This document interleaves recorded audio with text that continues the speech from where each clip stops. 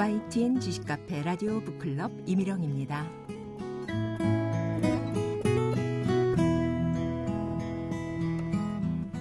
오늘은 한강의 연작 소설 채식주의자를 소개합니다. 결혼 5년 차인 가정주부 영혜, 소박하고 덤덤하게 살림하면서 직장 다니는 남편을 내조하는 여성입니다. 그런데 어느 날 영혜는 지독하게 무서운 꿈을 꿉니다.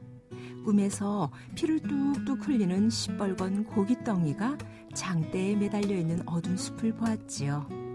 너무나 끔찍해 서둘러 빠져나가자 곧이어 눈부신 초원이 펼쳐지고 가족들이 모여 앉아 만나게 고기를 구워 먹고 있었습니다. 그 먹음직스런 냄새.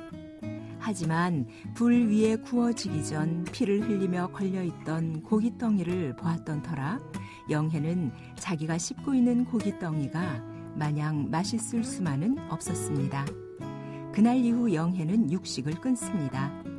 우유와 계란까지도 일절 입에 대지 않고 가죽 핸드백과 가죽 신발도 거부합니다.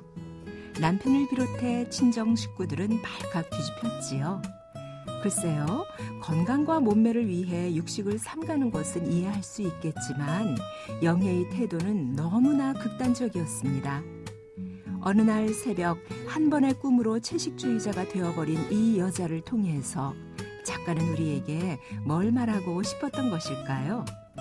이 작품은 두 번째 작품인 몽고 반점 그리고 세 번째 작품인 나무 불꽃까지 이어서 읽어가야 하는 연작 소설입니다.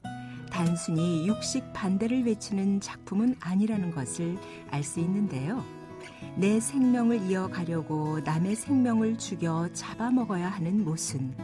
그리고 남의 생명으로 살아가는 이 육체에 가해지는 폭력과 오해.